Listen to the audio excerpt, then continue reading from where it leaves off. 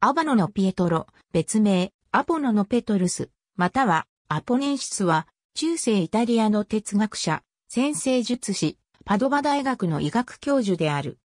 その名の由来となったイタリアの町、現在のアーバノテルメで生まれた。カンジリー・イーター・ディフェレーンシレム、ケインター・フィロッサ・フォース・イ・メディコス・バーセンターを執筆したことで名声を得た。最後には、異端と無神論の罪に問われて、異端審問に出頭し、決心前に、獄中にて死した。パリで長く学び、そこで哲学と医学の博士号を得た。医療に大いに成功を収めたが、ピエトロの謝礼はかなりの高額であった。パリでピエトロは王、ロンバルドと呼ばれるようになった。彼はパドバに今日構え、そこで内科医として評判を得、先生術師でもあったピエトロは魔術実践の角で告発された。具体的な告訴内容は支払った金銭を悪魔の助力によってすべて取り戻したとか、賢者の石を所有しているというものであった。朝廷者アバノのペトルスの典型的な肖像、ニュルンベルク年代記の規範がピエトロは、研究を進め、深遠な知られざる自然についての秘密の学問に分け入り、十二分な証拠を得ると、人相学、知戦術、手相術に関する著書の執筆を経て、哲学と自然学と先生術の研究へと進んだ。全二者は言うまでもないが、先生術の研究も彼にとって非常に有利なものであると分かり、これによって彼は東大の歴代教皇たちに紹介され、学識者たちの評判を得た。パドバの宮殿の大広間に描かれた天文学者たちの肖像の一つとなったこと、最も学識高いラビ、アブラハム・イブン・エズラの著作の翻訳を物したこと、さらには天文学の改良、占星術師としてピエトロを称賛した著名な数学者レギオモンタヌスの証言、ピエトロがアルフラガヌスの書を解説した折に、パドバで公開で行った講演といった事例に示されるように、ピエトロが学識者の中でも名士たるにふさわしい人物であったことは確かである。 Conciliator differentiarum philosophorum et precipue medicorum、ヨース・ファン・ワッセンホフによる肖像画ピエトロは、著書の中でアベロエスや他のアラビア人著述家の医学、哲学体系を詳説し、その学説を支持した。彼の最もよく知られた著書は、 Conciliator differentiarum quae inter philosophos et medicos versantur と、1593年にリヨンで仏訳が出版された De venenis eorumque remediis である。前者はアラビア医学とギリシャの自然哲学とを一致させようとする試みであった。これは16世紀になって、ようやく権威あるものとされるようになった。アバノのピエトロは、ヘプタメロンというグリムワールの著者ともされてきた。これは週の7日のおのおのに対応する天使を呼び出す、儀式魔術の小冊である。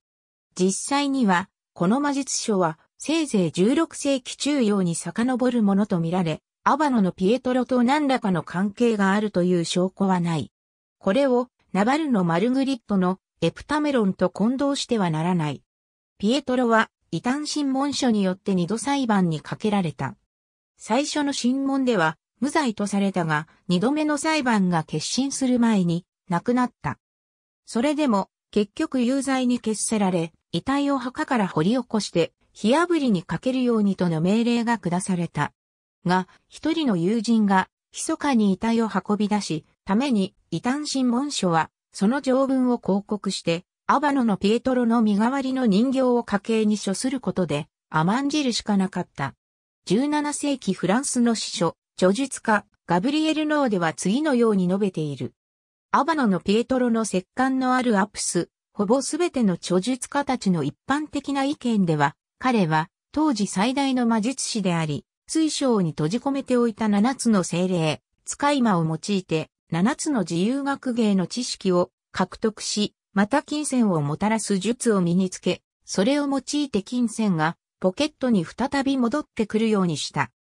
彼は1280年に魔術を行ったことで告発され、裁判が終わる前の1305年、ママに死亡し、火炙りを宣告され、彼の身柄の代わりにわらか柳の束がパドバで公開家計に処された。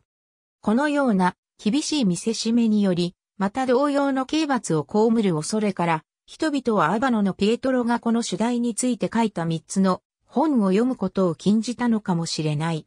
その三冊の一つは、ヘプタメロン、または哲学者アバノのピエトロの魔術の諸要素と記され、一つはトリテミウスがイルーシデリアムネクロマンティコムペトリでアバノと呼び、今一つは同じトリテミウスがライバーイクスペリマントレムマラビリアムでアニエリス、シー・キンダム28万書ムルンと呼んでいる。